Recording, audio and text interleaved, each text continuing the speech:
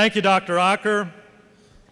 Mr. President, distinguished guests, students, faculty, then Governor Ronald Reagan to Kansas for the 1967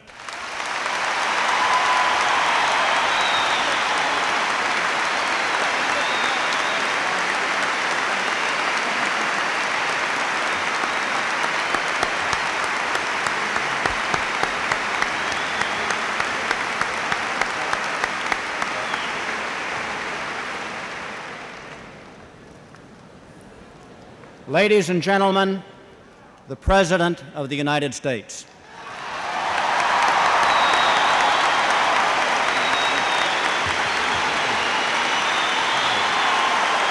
Thank you very much. Thank you very much.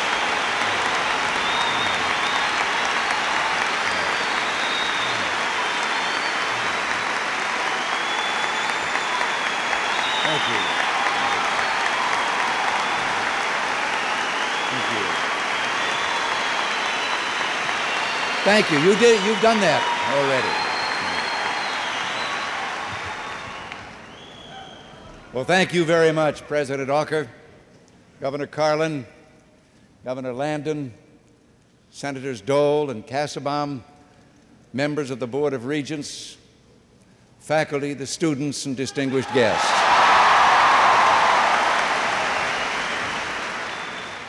It's a special pleasure to be with you today. Wonderful to be back home on the range. You know, sometimes living in that big White House in Washington can leave you feeling a little fenced in and isolated. But there is a tonic. Visit a state where tall wheat and prairie grass reach toward a wide open sky. Be with people who are keeping our frontier spirit alive, people who work the soil but who still have time to dream beyond the farthest stars. Here in the heartland of America lives the hope of the world. And here, words like entrepreneur, self reliance, personal initiative, and yes, generosity describe everyday facts of life.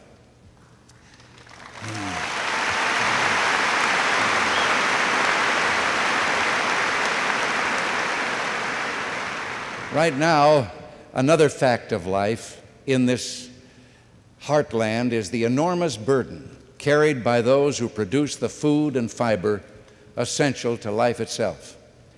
And I want with all my heart to see that burden lifted, to see America's farmers receive the reward they deserve.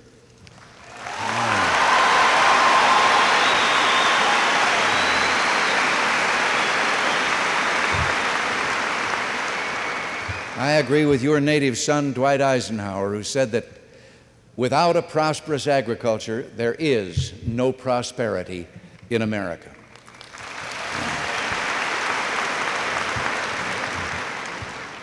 I feel doubly honored to be with you here in this particular place.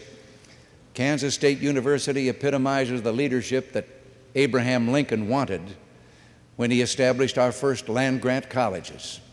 Schools like Kansas State serve as an entrance to the world, not an escape from it. And you deserve great credit for the rigorous academic program you offer your students and the research efforts you're making to benefit humanity.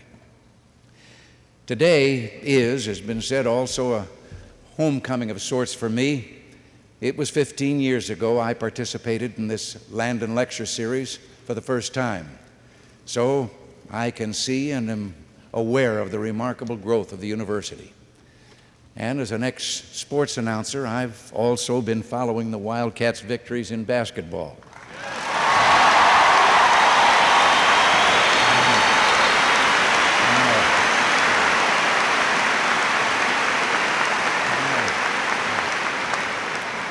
Now, it just happens that football was my game, and I know that I know there have been some trials and, shall I say, some misfortunes in football. You've, you've tasted the agony of defeat. And uh, I know that taste. And by coincidence, when I knew that taste, I was wearing a purple jersey at the time. But I happen to be a believer in purple power, so go out there and turn it around.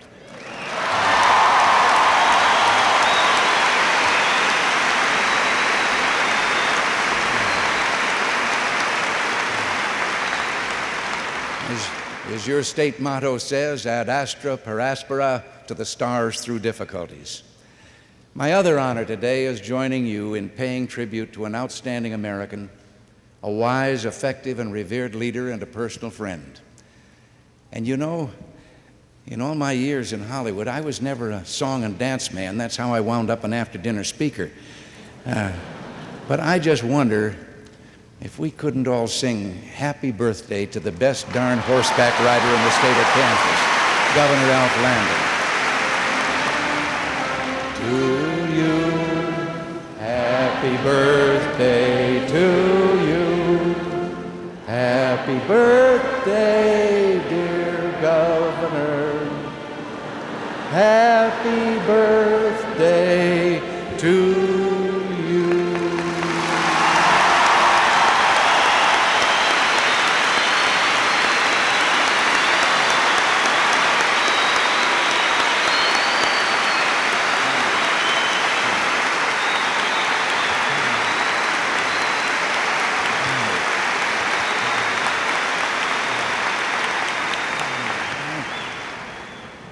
You know, I was all set to ask the governor if he'd like to go riding today, and then suddenly I remembered about the Landon legend. He doesn't just ride horses, he has broken the horses that he rides, and I think I'll save my strength for the Congress. but, but, Governor, Governor, if you'd invite me back here to speak five years from now, and if I should happen to be still living in the White House, you could join me on Air Force One and we'd light the candles on your 100th birthday cake in Washington so all of America could join in the celebration.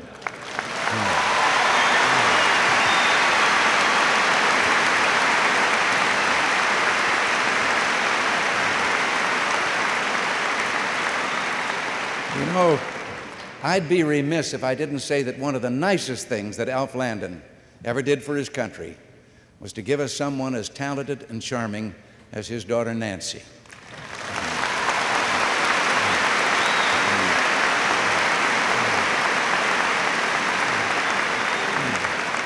The first woman to be elected senator from Kansas. And, you know, Nancy, that, that's a nice name. I, I like the name Nancy. but today, I want to talk about our challenge to take freedom's next step and lift mankind another rung on the ladder of human progress. And if you detected a note of optimism in those words, you read me right. I do not dismiss the dangers of big deficits, nuclear conflict, or international terrorism. Each could destroy us if we fail to deal with them decisively. But we can and will prevail if we have the faith and the courage to believe in ourselves and in our ability to perform great deeds as we have throughout our history. Let's reject the nonsense that America is doomed to decline, the world sliding toward disaster no matter what we do. Like death and taxes, the doom criers will always be with us, and they'll always be wrong about America.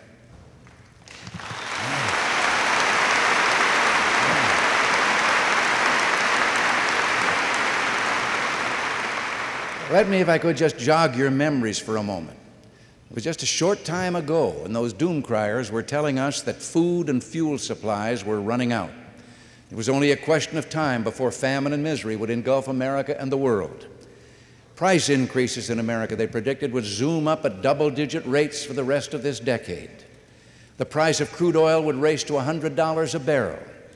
Interest rates would break all the old records and soar to 25 or 30 percent or even higher. Runaway inflation and interest rates would break the back of the free enterprise system, destroy the value of our currency, the savings of our people, and the ability of our country to project power, promote freedom, and defend peace. Well, already Americans are proving every one of those predictions wrong. So many so called experts lack faith in the American people. They just don't seem to understand there is no limit to what a proud, free people can achieve.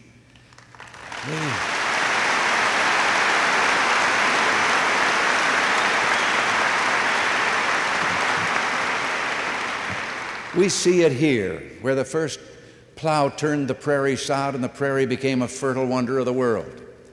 I'm told that in 1820, a farm worker produced enough food products for himself and three other people. Today, he feeds 77. We're not running out of food and fuel because we haven't run out of ideas. We're going to feed the world. We're developing new energy resources. And last year, we discovered more crude oil than any time in the last 12 years. We've declared war on high interest rates and inflation, and we're winning that war. The American dollar is no longer a condemned currency. It's sought again as a rock of strength and stability. In the last two years, it has risen about 25% against other major currencies. And yet, I can remember just a short time ago a friend returning from a trip abroad, very depressed. He told me what a blow it was and how he felt because at that time he was in places abroad where they refused to accept American money. They had lost such confidence in it. Across the world, Americans are bringing light where there was darkness, heat where there was once only cold, and medicines where there was sickness and disease. Food where there was hunger, wealth where humanity was living in squalor, and peace where there was only death and bloodshed. So many delight in downgrading everything American when there is so much in our land to be proud of. We don't occupy any countries. We build no walls to keep our people in, but we provide more food assistance around the globe than all the other nations combined. And no other nation works harder, or I might add more effectively, than the United States to end bloodshed and suffering and bring about lasting peace in troubled areas like the Middle East. Yes, we face awesome problems, but we can be proud of the red, white, and blue and believe in her mission. In a world racked by hatred, economic crisis, and political tension, America remains mankind's best hope. The eyes of mankind are on us, counting on us to protect the peace, promote new prosperity, and provide for them a better world. And all this we can do if we remember the great gifts of our revolution that we are one nation under God, believing in liberty and justice for all. One of America's most valiant decorated soldiers, Omar Bradley, once said of freedom, he said, No word was ever spoken that has held out greater hope, demanded greater sacrifice, needed more to be nurtured, blessed more than the giver, damned more its destroyer, or come closer to being God's will on earth. May America ever be its protector.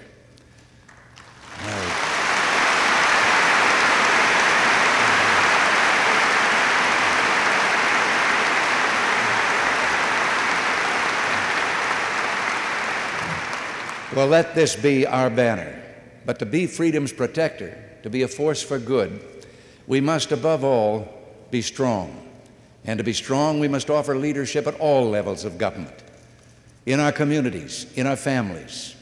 We must mobilize every asset we have spiritual, moral, educational, economic, and military in a crusade for national renewal. We must restore to their place of honor the bedrock values handed down by families to serve as society's compass. Our time tested values have never failed us when we've had the courage to live up to them. Speaking here 15 years ago, I was asked, following the speech, a question from the audience if we weren't, if our young people of that day were not turning away from our traditional values. And I replied that maybe those young people just didn't think we were living up to them. There was a roar of approval from the students present that indicated agreement. They hadn't abandoned those values. They just didn't think that our older generation cared anymore. So it's up to us to make sure they realize we do. Today, I wonder sometimes if we're infecting another generation with negativism. When the tough but necessary decisions to cut back on spending are made, they're described so often in negative terms. How much less government will spend, how many fewer benefits will be given away, how many fewer programs will survive. But cutting back on the runaway growth of government can be a profoundly positive step, like performing necessary surgery on a patient to save his life. This federal government of ours, by trying to do too much, has undercut the ability of individual people, of communities, churches, and businesses to meet the real needs of society, as Americans always have met them in the past. The time has come to rethink some of the tired old political labels that have blinded our thinking for too long. You know, we Americans have the technological genius to send astronauts to the moon and bring them safely home. But we're having trouble making it safe for a citizen to take a walk in the evening through the park. And sometimes in the world of politics, it seems that our dialogue hasn't gone much beyond me, Tarzan, you, Jane. For nearly 50 years, those who have taken unto themselves the label liberal have argued that government has a duty to help people solve their problems, which it does. Conservatives, on the other hand, have argued that such help can be a threat to individual freedom, which it can. Both sides seem to agree that the two main categories of American society are government and the individual, and never the twain shall meet. But from our earliest days, there have been other crucial dimensions of our society that transcend these narrow labels. Look around you. There's so much more to America than government on the one hand and individuals with nowhere to turn for help but to government on the other. Between the government and the individual, there are a great number of natural, voluntary organizations which people form for themselves, like the family, the church, the neighborhood, and the workplace where people learn, grow, help, and prosper, and even individual citizens and institutions, like the thing that I have just read of the announcement of the largest federal savings and loan here in Kansas, which has reduced the interest rates for home mortgages down to where once again maybe something can happen in the home building industry and people can again live that American dream of owning their own home. Genius, which will make us great again. I said that we were a nation under God. I've always believed that this blessed land was set apart in a special way, that some divine plan placed at this great continent here between the oceans to be found by people from every corner of the earth who had a special love for freedom and the courage to uproot themselves, leave homeland and friends to come to a strange land, and where coming here they have created something new in all the history of mankind a land where man is not beholden to government, government is beholden to man. Government ensures to exist, exists, I should say, to ensure that liberty does not become licensed to prey on each other. Well, we haven't been perfect in living up to that ideal, but we've come a long way since those first settlers reached these shores, asking nothing more than the freedom to worship God. They asked that He would work His will in our daily lives so America would be a land of fairness, morality, justice, and compassion. There was a conviction that standards of right and wrong do exist and must be lived up to. The institutions of family, community, and school would play critical roles in the shaping of character, the acquisition of knowledge, and the search for truth. We've passed thousands of thousands of laws in our two centuries as a nation, millions maybe. And yet, if we simply adhere to the Ten Commandments that Moses brought down from the mountain, and he didn't bring down just ten suggestions, and the admonition of the man from Galilee to do unto others as you would have them do unto you, we could solve an awful lot of problems with a lot less government.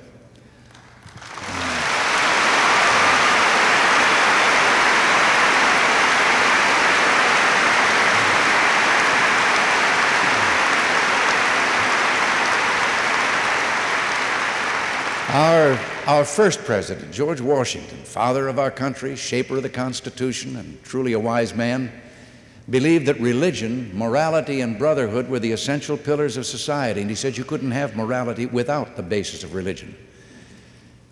And yet today, we're told that to protect the First Amendment, We must expel God, the very source of our knowledge, from our children's classrooms.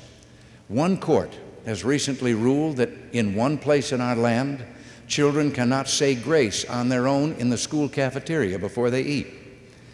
Now, this was done as being in accord with the Constitution.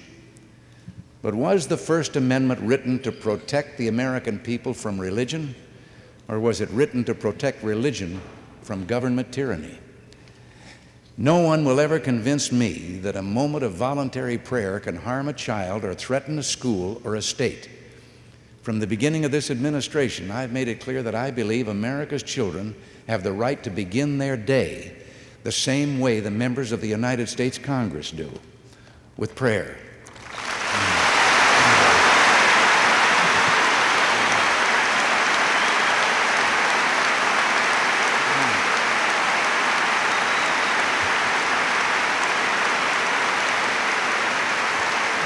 The time,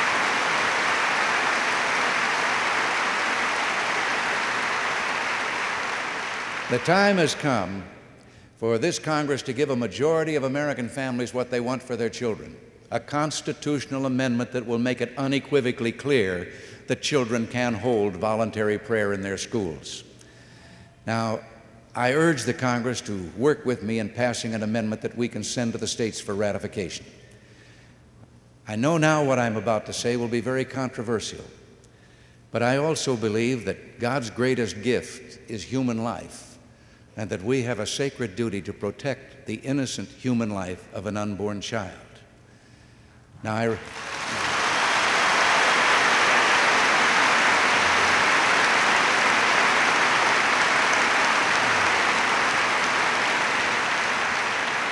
now, I realize that this view is not shared by all. But out of all the debate on this subject, on this subject has has come one undisputed fact. And this, out of the debate, has been the uncertainty of when life begins. And I just happen to believe that simple morality dictates that unless and until someone can prove the unborn human is not alive, we must give it the benefit of the doubt and assume it is.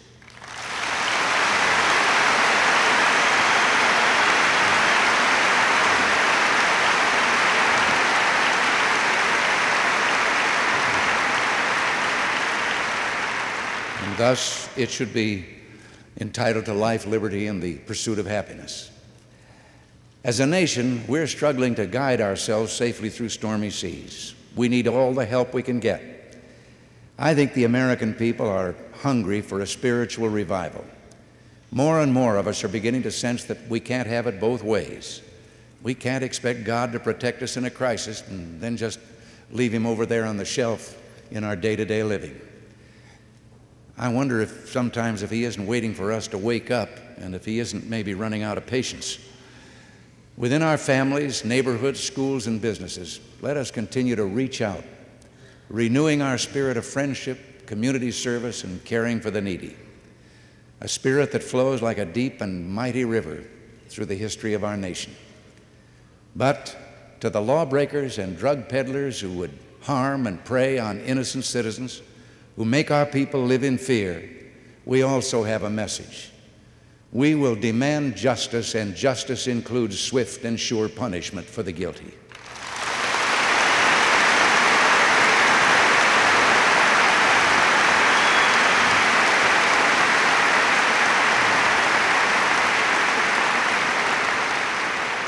You know, someone once asked, Which role will you play? Will you be the wrecker who rule, walks your town content with the labor of tearing down? Or will you be the builder who works with care that your town may be better because you've been there? With the caliber of leadership from people like your president, Duane Acker, KSU's answer is loud and clear. You have every right to be proud. Let me give you another example of a down home private sector initiative that impressed me very much.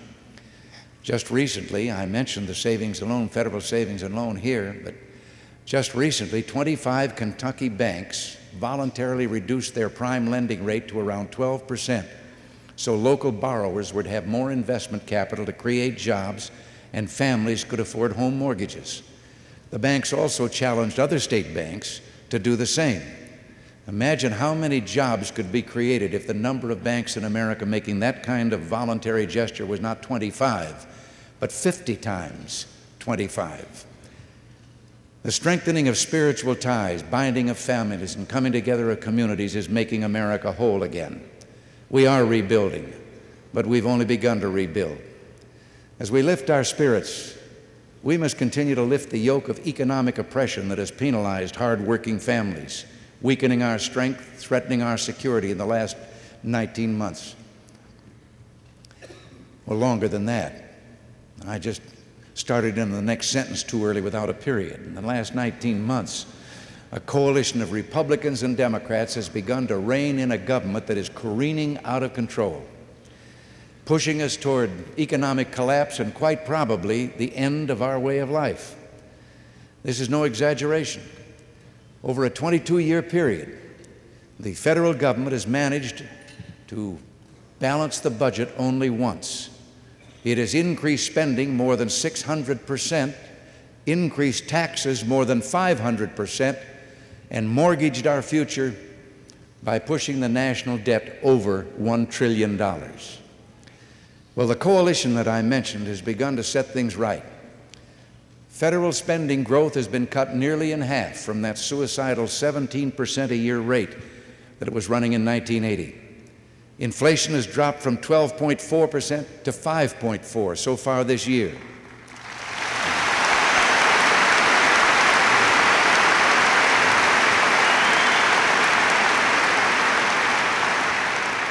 And prime interest rates are down from 21.5% to 13.5.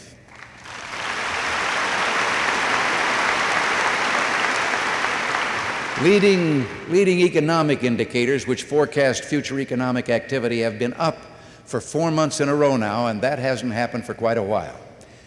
Yes, recovery has been cited, but these statistics that I just mentioned are cold comfort to someone who is still out of work. Unfortunately, unemployment is just about the last indicator to turn around after a recession. The other problem is unemployment has been gaining on us for years. Since 1976, the unemployment rate in this country has averaged over 7%, far higher than in earlier post war years.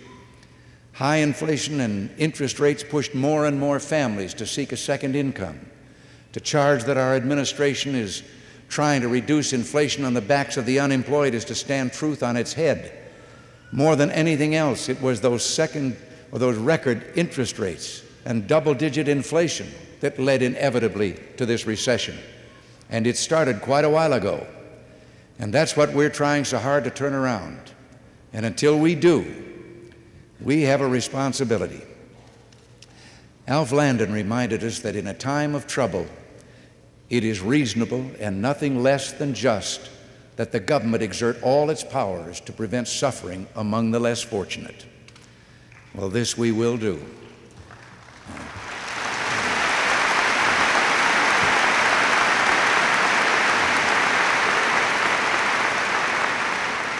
What does it mean when we say we love America? Well, I think it means we, we think before anything else that we love our countrymen, that we reach out with a helping and healing hand when they cry out or fall behind, and that we tell them, don't be afraid, you're not alone. You may have read the passage in the Psalms which says, Weeping may endure for a night, but joy cometh in the morning. The American people have endured a long and terrible night, lasting more than a decade and filled with our one economic disappointment after another. And today that long night is ending. We will see a new dawn of hope and opportunities for all our people.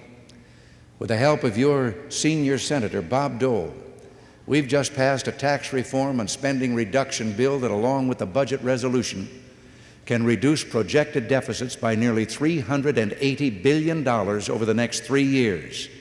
And we've done this without canceling the tax cut passed last year, which will save taxpayers 335 billion in those same 3 years.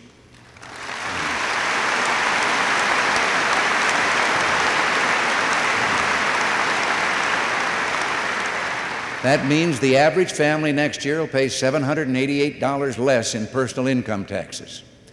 But we still have one major hurdle to clear. We must summon the courage to get control of the spending programs which have been the major cause in recent years of budget hemorrhaging and spiraling deficits and the high interest rates. I've said before, balancing the budget is a little like protecting your virtue.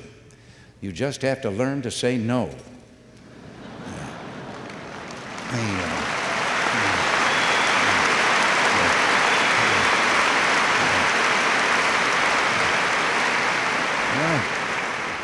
The Congress passed legislation in 1978 requiring the budget to be in balance by fiscal year 1981. But like Rodney Dangerfield, the legislation didn't get no respect. Well, it seems to me that Republicans and Democrats alike want an end to runaway government spending, even if that means pruning some popular programs. The people have something that is often in short supply in government common sense. And they understand that making this government live within its means will ultimately do more to protect their earnings, bring down interest rates, and put our unemployed back to work than anything else we could do. The gist of the message I've been receiving is no more ifs, ands, buts, or maybes. We want an amendment to the United States Constitution making balanced budgets the law of this land, and we want that amendment now.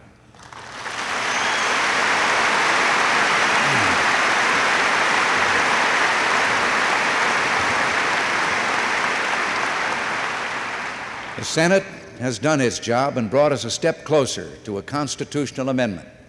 But the House leadership is keeping the bill bottled up in committee. This is no partisan issue, it's the people's will. And today we're saying to the House, let their voices be heard. There's one other goal on the horizon that we should all work together to reach. We should go much further in reducing tax rates and make that whole jigsaw puzzle of a tax system more simple and fair for all. Every,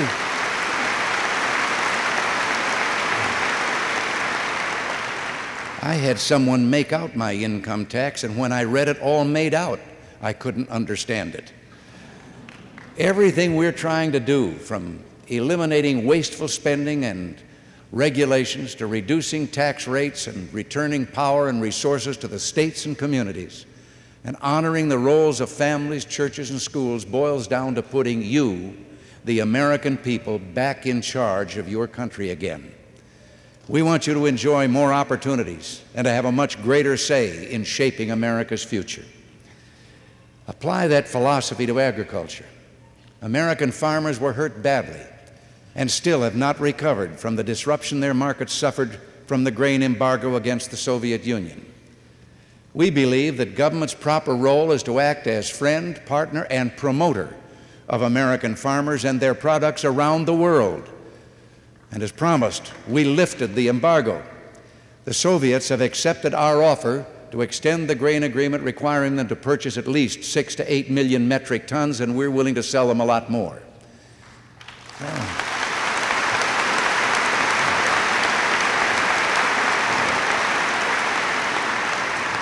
So far, we've dispatched trade teams to 23 nations in Europe, Africa, Latin America, the Middle East, and the Far East. We're committed to opening agricultural markets in all countries.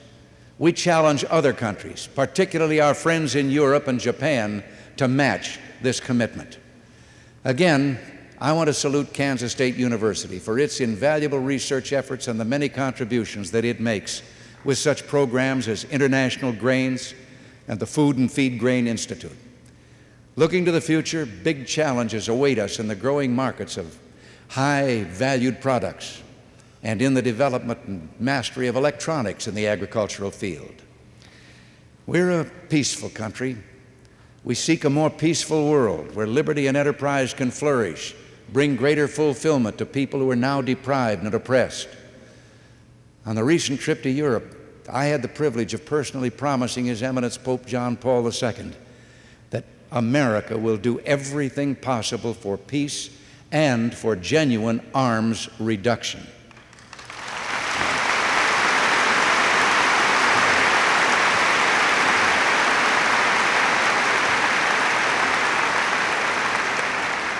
But to keep the peace and to keep our freedom, we must stay strong. I have seen in my lifetime, and many of you in yours, how despots took the world to the brink because they thought the spark of freedom had died in our hearts. Sons and daughters of Kansas, as well as the rest of our country, brave war heroes like Bob Dole, proved how wrong those despots were. To those who today, today would charge us with being imperialistic or warmongering, let them be reminded of a little history. After World War II, we were the last great power undamaged by the war, our industry intact. We occupied Germany and Japan, our erstwhile enemies. We alone had the ultimate weapon, the atom bomb. We could have very easily dominated the world. But that's not what America's all about. We used our power as a force for good to take freedom's next step.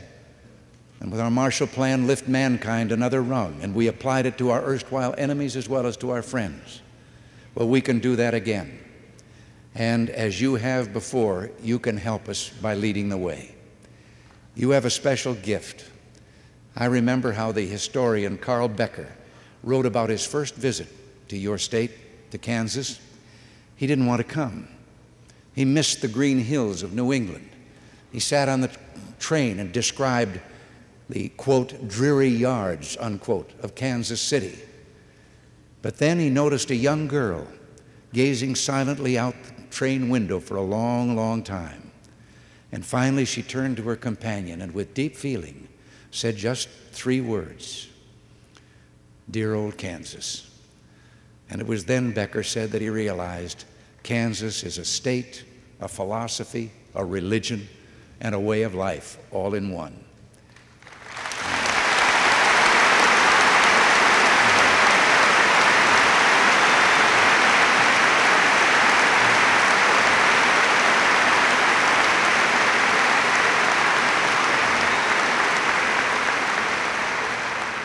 You have within you a deep well of goodness, strength, and inner peace that can carry America forward.